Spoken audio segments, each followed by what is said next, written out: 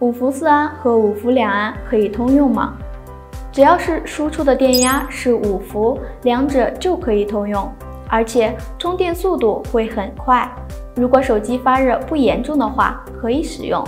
但是为了安全起见，建议不要经常使用超过两安的充电器进行充电。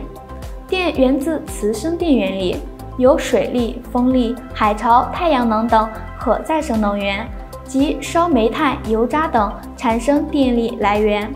常见的电源是干电池与家用的110伏至220伏交流电源。